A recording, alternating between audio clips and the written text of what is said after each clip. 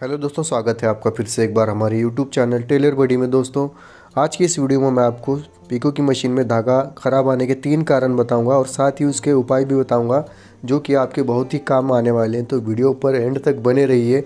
अगर आप वीडियो को बीच में ही छोड़ देंगे तो ये वीडियो आपको बिल्कुल भी समझ में नहीं आएगी।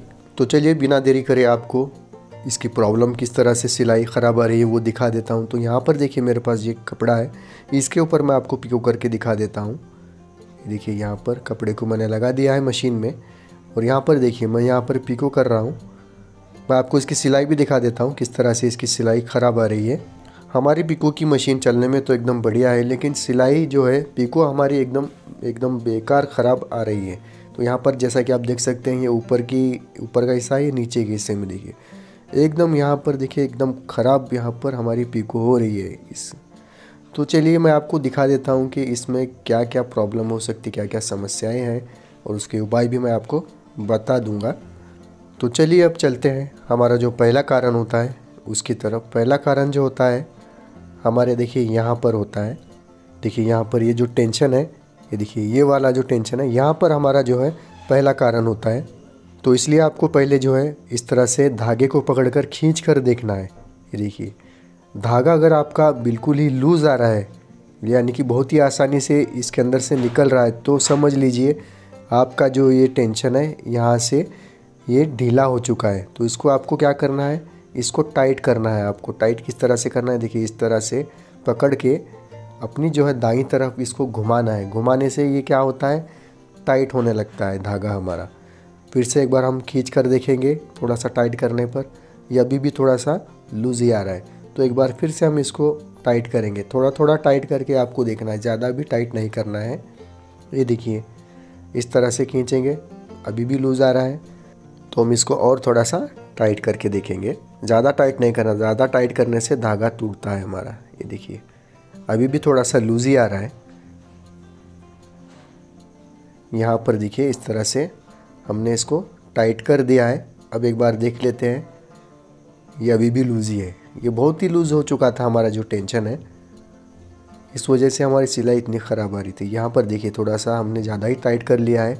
देखिए, इस तरह से आप ज़्यादा टाइट करेंगे तो धागा आपका मशीन तोड़ेगी। तो हम इसको थोड़ा सा लूज़ कर लेते हैं। बस इतना। तो चलिए, अब हम सिलाई भी करके देख लेते हैं। हमने थोड़ा सा टाइट कर लिया है। यानी कि हम पिको करके देख लेते हैं। उससे पहले ये जो धागा है, उलझा हुआ है, इसको हम सीधा कर लेंगे। ये तो हो गया मैंने आपको बताया, ये जो है पहला कारण होता है, उपाय भी आपको बताया है। अब इसके बाद हम सिलाई कर कर पिको करके देखेंगे। उसके बाद मैं आपको दूसरे दो कारण और उसके उपाय भी बताऊँगा। ये देखिए, इसी कपड़े पर हम पिको करके देखने वाले हैं। यहाँ पर हमारी जो पिको है, वो मैंने स्टार्ट कर दी है। ये देखिए यहाँ पर ऊपर की जो पीको है थोड़ी सी अच्छी आ रही है। नीचे की हम देख लेते हैं कि किस तरह से आ रही है। नीचे की पीको में हमें थोड़ी सी गड़बड़ देखने को मिल रही है। पहले से थोड़ा सा बेहतर है।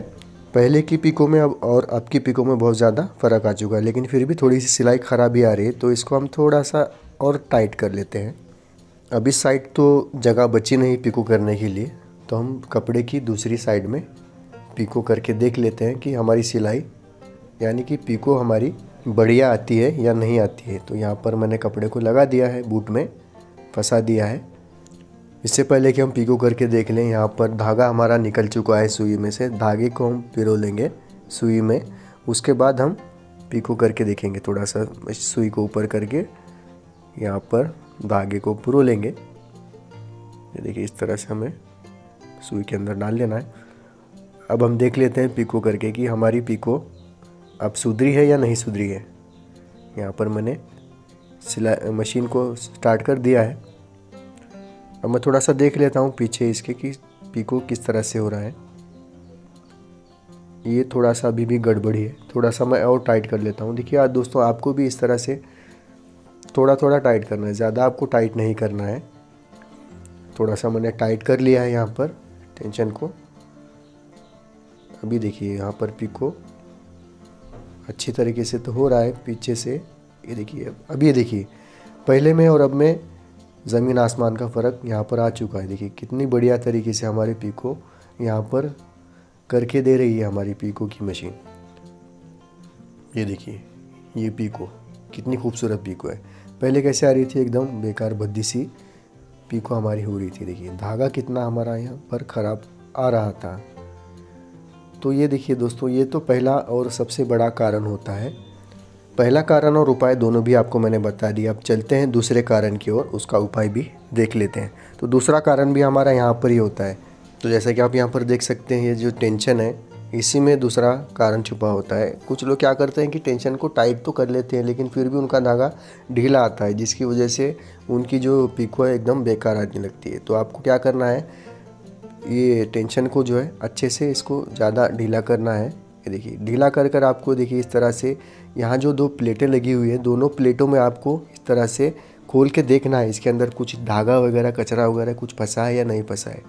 इसके अंदर कचरा फंसने से भी, धागा वगैरह फंसने से भी ये हमारी पीको एकदम बेकार आने लगती है। तो इसको निकालने के लिए आपको एक छोटी बारीक सुई लेनी है और सुई को इसके दोनों प्लेटों के अंदर डालकर और कचरे को अच्छे से साफ़ कर कर फूक लगा देनी, कचरा आपका निकल जाएगा। तो दोस्तों, ये थी दूसरा कारण और दूसरा उपाय। तो तीसरा कारण देखिए, ये हमारे बॉबिन के अंदर होता है।